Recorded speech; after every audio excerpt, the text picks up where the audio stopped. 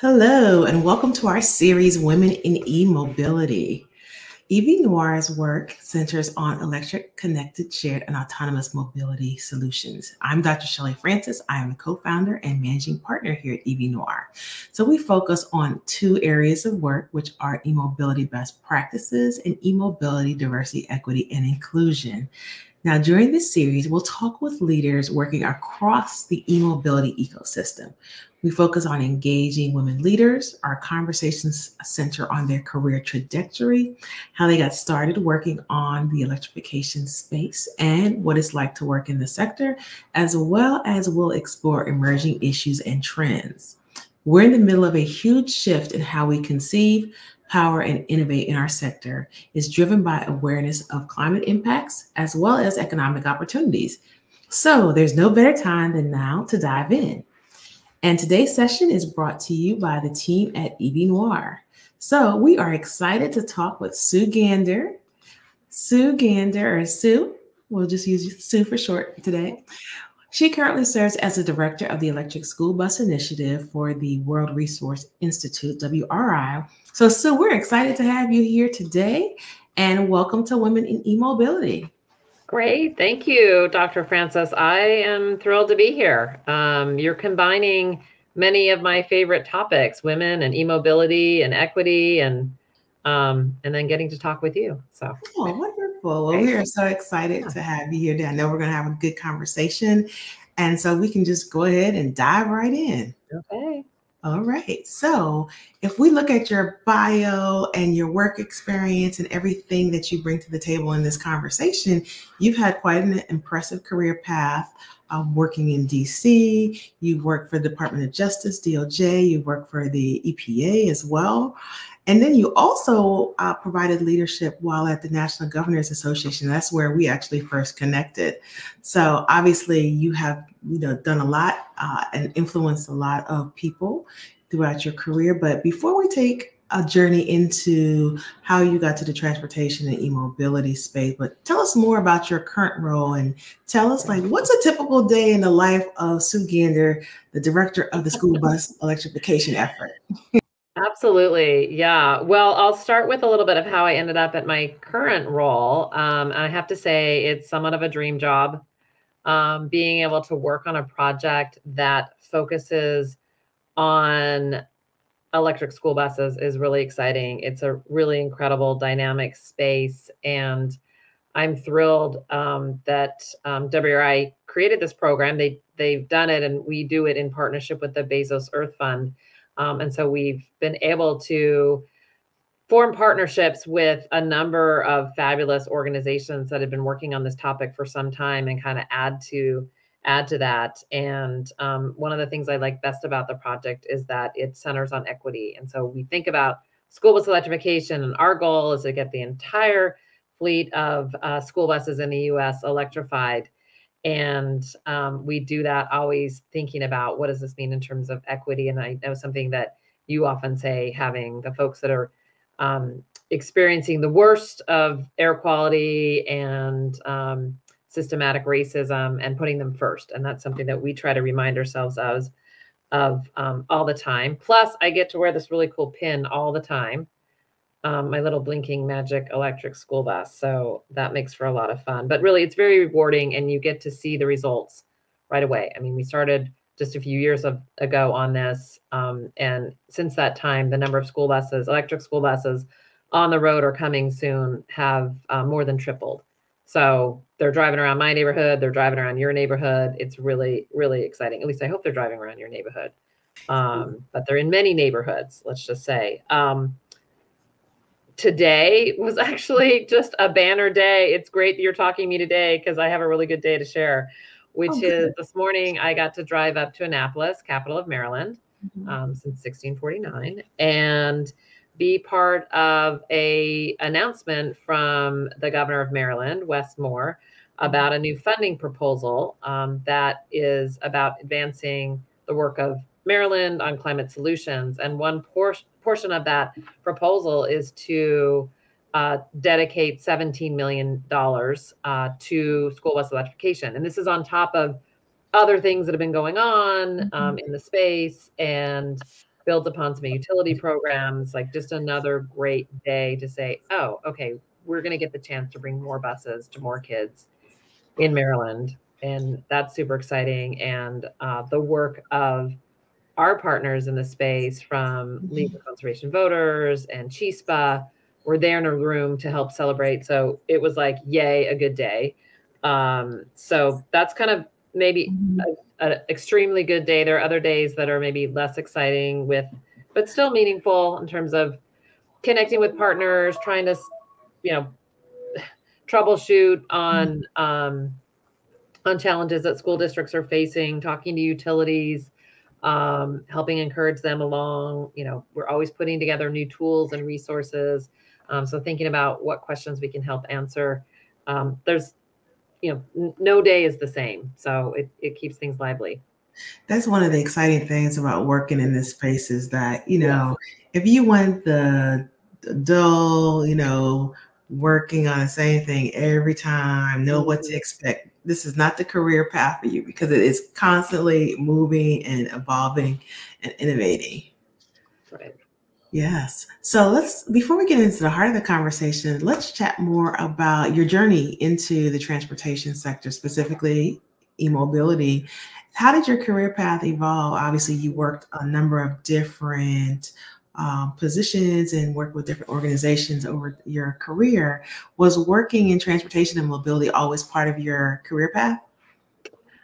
as I look back and reflect on it, it actually has been, um, and it's just become more and more a part of my um, my you know my work life, if you will. Um, so maybe going back to my graduate uh, school days um, when I was studying in uh, Wisconsin, go Badgers. Um, I did a, a capstone project on the future of alternative fuels and I think I called it something like Road to Nowhere. It was about like the oil, you know, oil was the road to nowhere. How are we going to move to alternative fuels? Um, and strangely enough, right there on the front cover um, or first page of my um, paper is a quote from the World Resources Institute. And now, like, fast forward, I'm not going to tell you how many years. Full circle. I'm working at the World Resources Institute. Hey, oh, it's really wow. great. You um, predicted so, that yeah, yeah. I, I really scripted that well.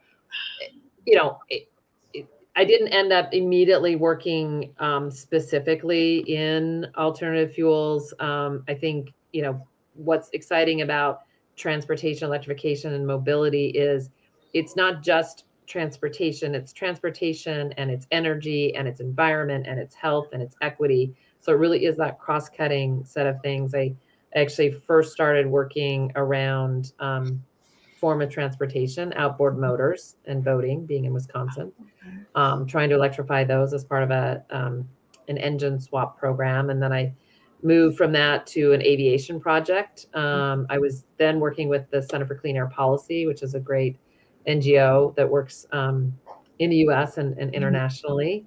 Uh, and so, you know, got to have that be part of my portfolio.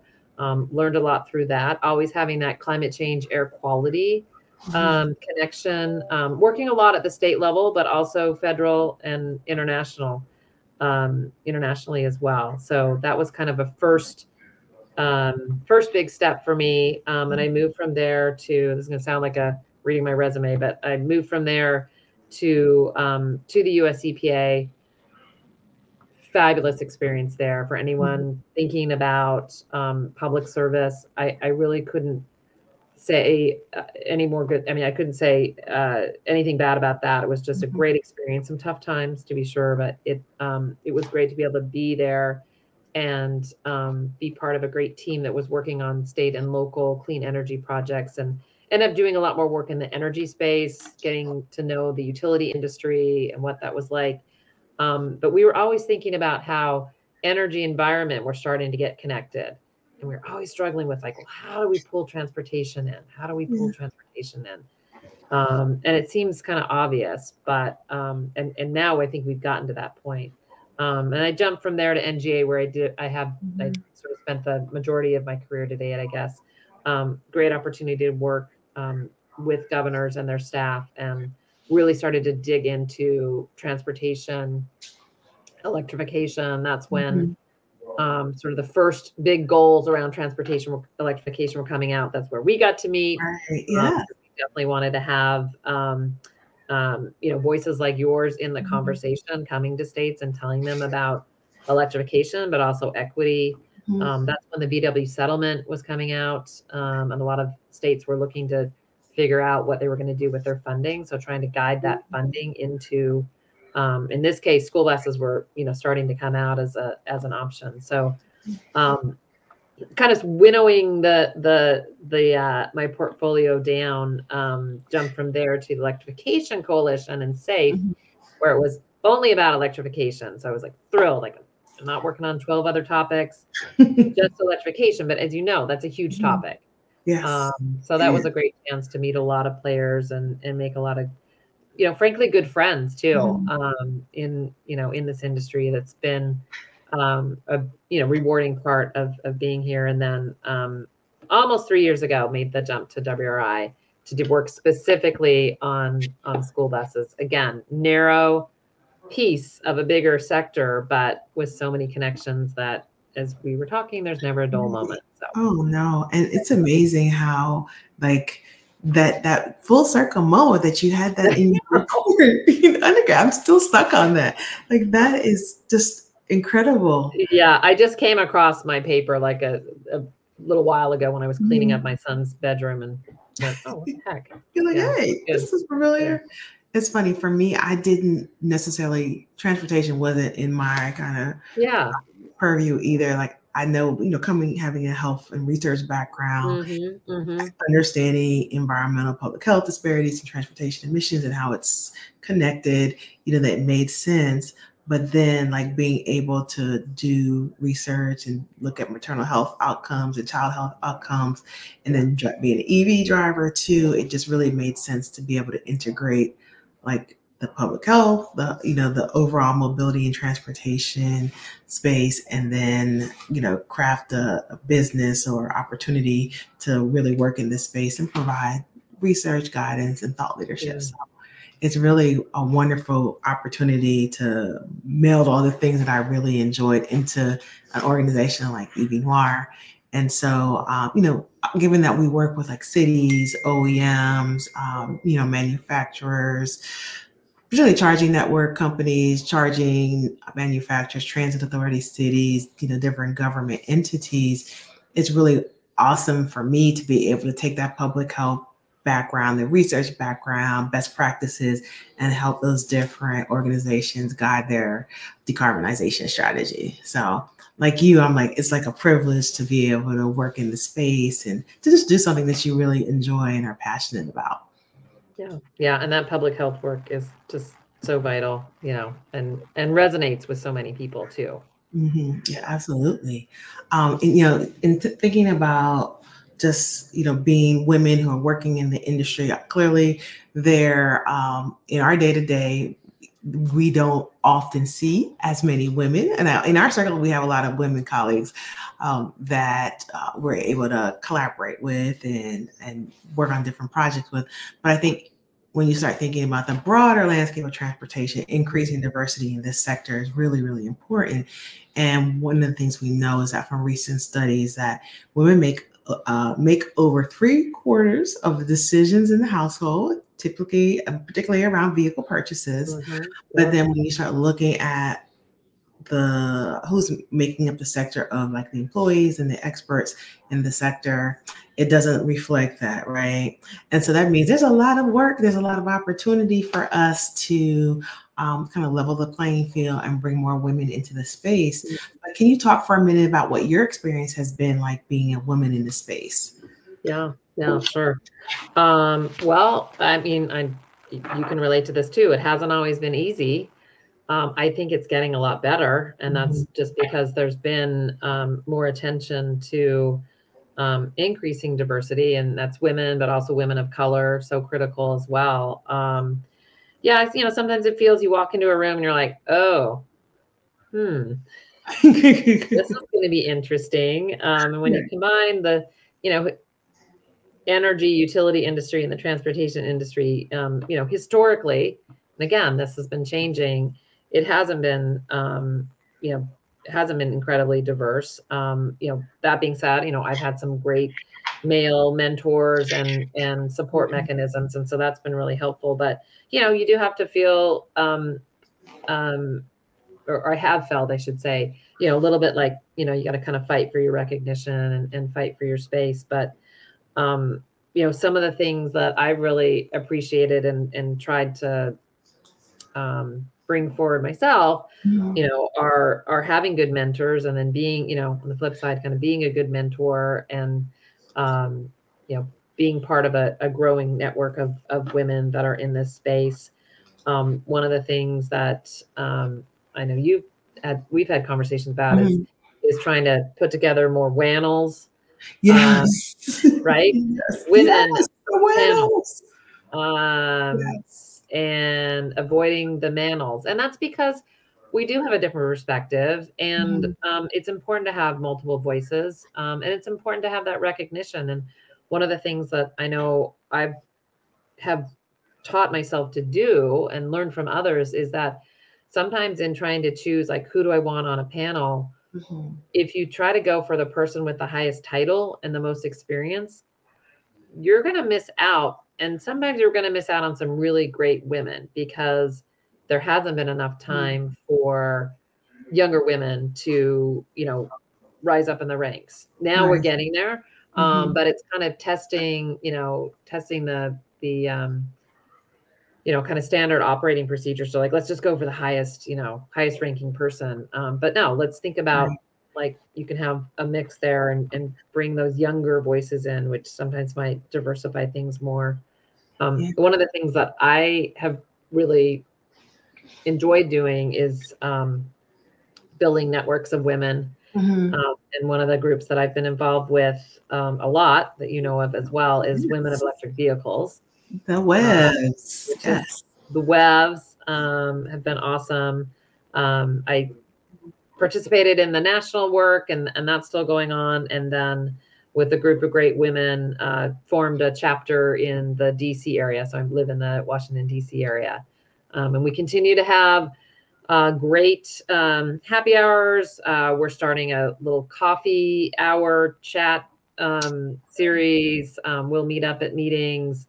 Um, we'll do webinars from time to time. People are, you know, kind of a little overloaded with those these days, but um, just a great chance, you know, share job opportunities, share job advice, um, all that kind of stuff. Um, so it's, you know, again, it's not always been easy, but I think looking mm-hmm. for those, um, you know, uh, those sponsors and those mentors that can help. Yeah, no, that that's so critical. Just having that community that you can go yeah. to for resources to like say, hey, you know, how did you navigate X? you know, in your career search, or like you said, sharing career opportunities or sharing like a position that comes available mm-hmm. in your organization or on your team.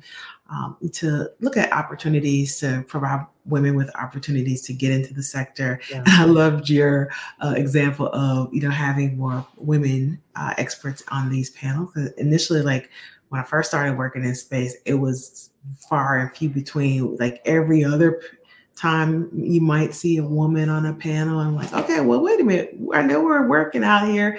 And w- when is our opportunity to share our thought leadership and expertise? So I'm glad to see like we're we're starting to get away from that, and people are calling that out too, yeah. um, a lot more yeah. frequently. Like they're like, hey, wait a minute, there's something looks uh, something looks amiss here with these panels. so uh, I think you know, having opportunities like to build a community, um, having those professional organizations, having mentors that are able and allies too that are able mm-hmm, to mm-hmm. navigate that landscape is really helpful.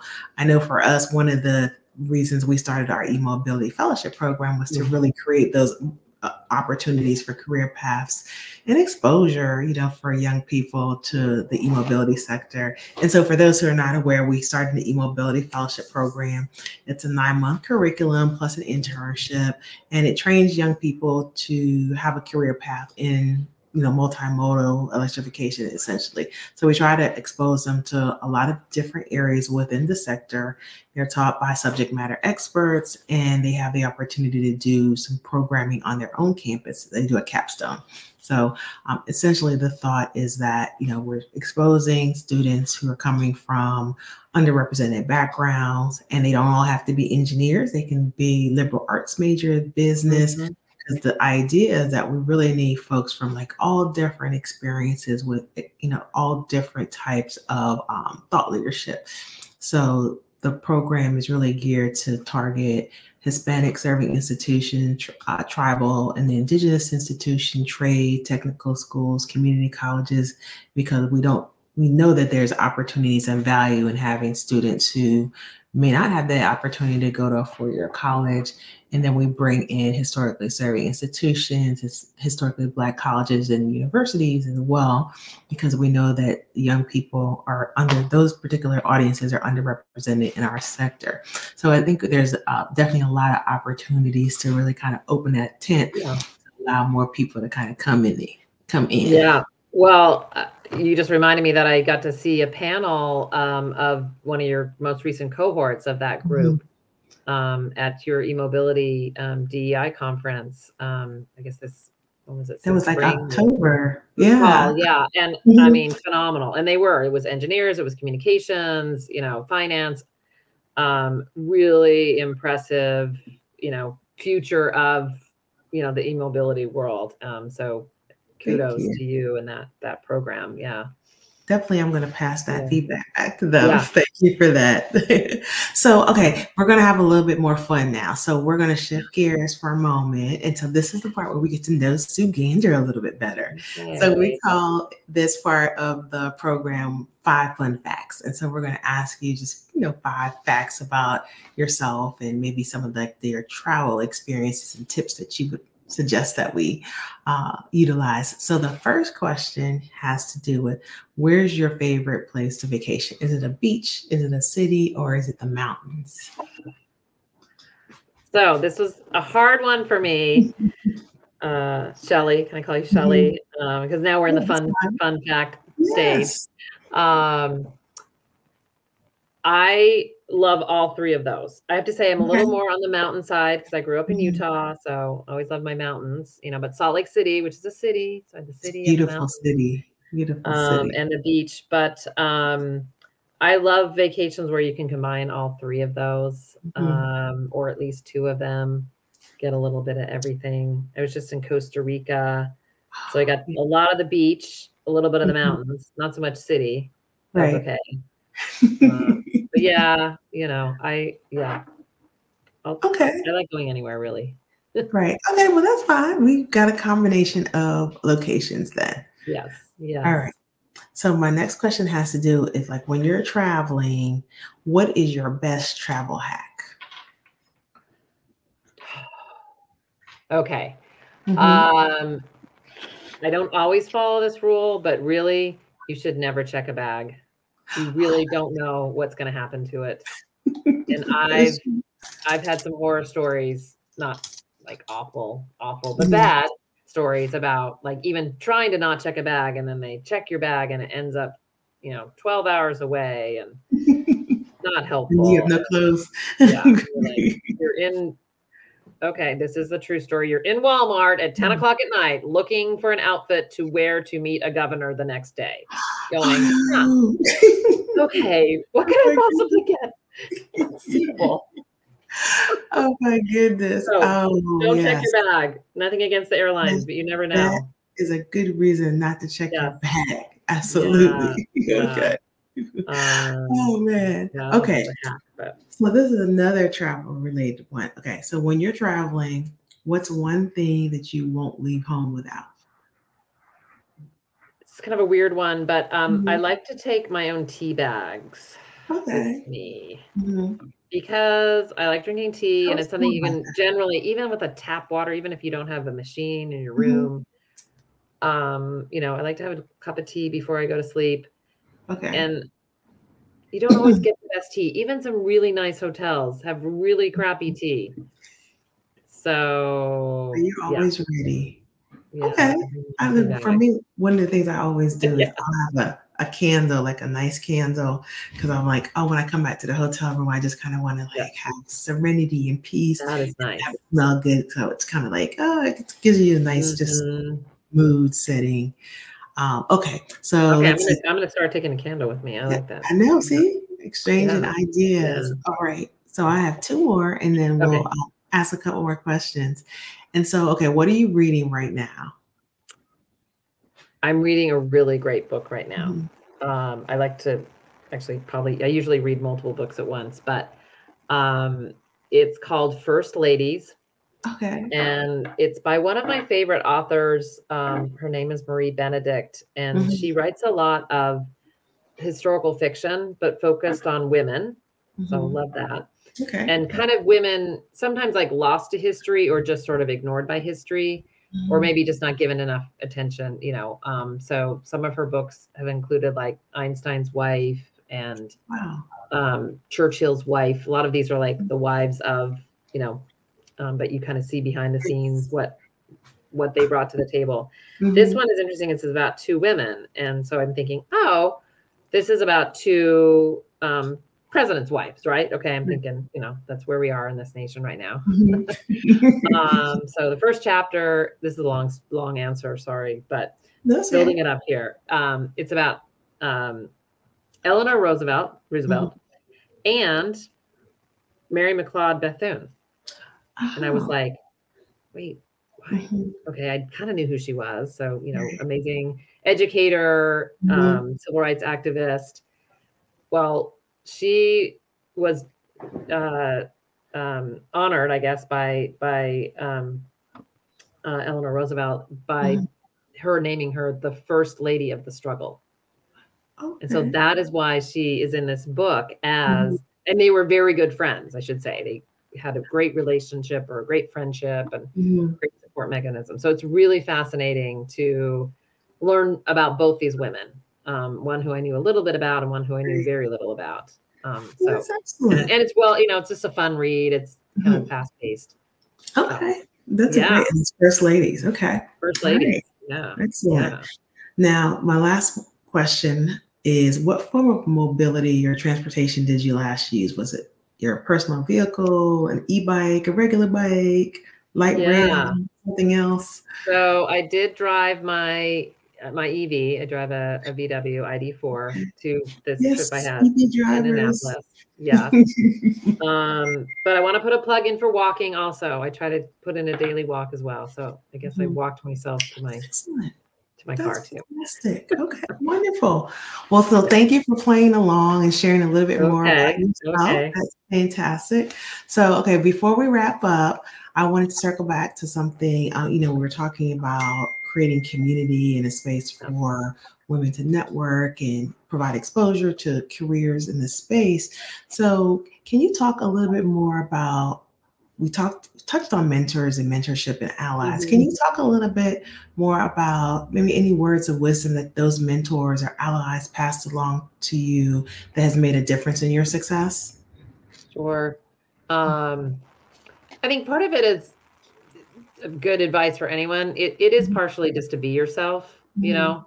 know, um, and and you know, not not think about don't put up barriers that that um, you know don't need to be there. Um, mm-hmm. Let let others put those up, right? Okay. Just be yourself. Right. Um, and um, this is something that comes from. I mentioned I was in Costa Rica, and, and yes. one of the um, things that the yoga um, teachers that were there kept saying is ask for what you want. Mm-hmm. And I think that's good advice for you know again anyone you know ask for what you want. Yes. Um, just be clear on that. Um, and then just be brave. You know, it's kind of hard out there sometimes, but just take a deep breath and, you know, press forward and walk out there. So those are things I tell myself every day, anyhow. Mm-hmm. well, no, I mean, obviously it's working well for you because you are, you know, you're you know, doing great work with great a great organization and the work that you're doing is so hugely impactful we're seeing how um, you're seeing the accomplishments we're seeing the progress like you know every day in terms of how we're how you and your team and and your supporters and cheerleaders are moving the needle forward around school bus electrification so you know it was a it was a conversation several years ago when you first started on that project but it has really just ramped up Um, and it's really critical and important that we get kids off of these fossil fuel buses uh, and get them into clean transportation. Absolutely. Yes. Yep. So, well, you know what, Sue? This has been a really wonderful conversation. I just appreciate you coming on the show, being part of the series, and sharing your insight. And you know, unfortunately, it has t- come for, uh, time for us to close and part ways for the day. but uh, I do want to say, I, I say thank you again for joining us, and we appreciate you providing your insight. And you know, continue to stay tuned, keep us abreast of everything that's happening in the electrification space and how we can continue to to support and amplify your work. Awesome. Thank you so much, Dr. Francis. It's a pleasure. Big admirer of your work and um, all the space that you've created to have conversations like this too. So just keep going forward. Awesome. Well, thank you yeah. so much, Sue. Again, she is Sue Gander, Director of the Electric School Bus Initiative for WRI. Thanks to our viewers for tuning in, and thank you to our team, EVNoire, for supporting this series. And check out our other episodes. All right. And so, on behalf of EVNoire, this is Dr. Shelley Francis. We'll see you next time.